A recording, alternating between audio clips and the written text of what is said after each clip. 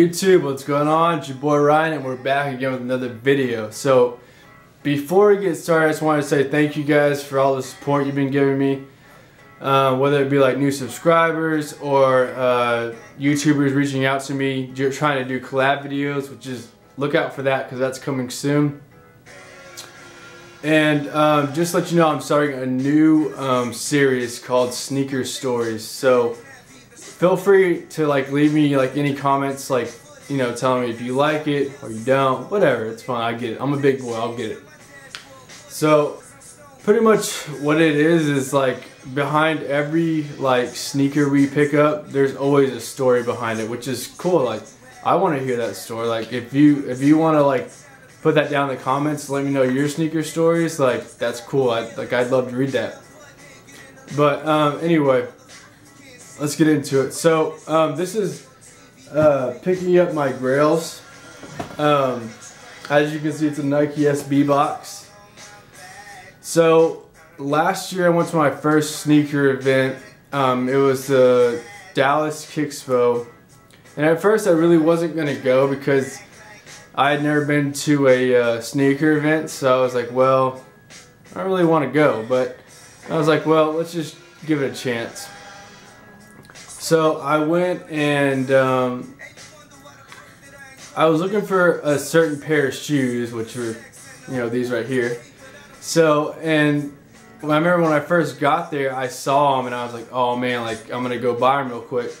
Well, the guy wanted $400 just for these shoes. And for a pair of shoes that retails for $108, I'm not gonna pay 400 like that's insane.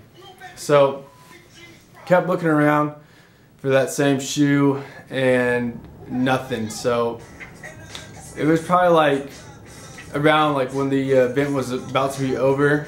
Uh, this, that guy was like, hey man, I still got those shoes if you want them. And I was like, well, I saw that you have um, a pair of Jordan 1s that I really want and those shoes. So I went ahead and offered him $300 cash for both. So he thought about it for a little while and then he was like, yeah, I'll go ahead and take it. And I was like, nice. So um, let me show you guys what I got.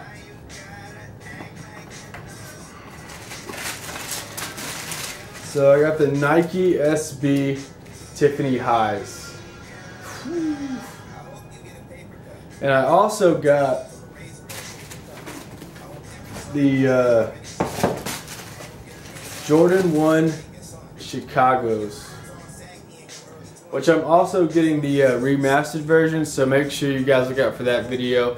So yeah, guys, that's what I got, and it was funny because um, whenever I picked up, uh, whenever, because I, I had pulled out like a, I had pulled out a wad of cash um, to uh, get these shoes and I remember I had this uh, this woman come up to me and she was like trying to sell me the uh, LeBron 11s. The um, they're the uh, I can't remember what they're called, but they're the ones with the um, like the red and like cheetah print. You know what I'm talking about.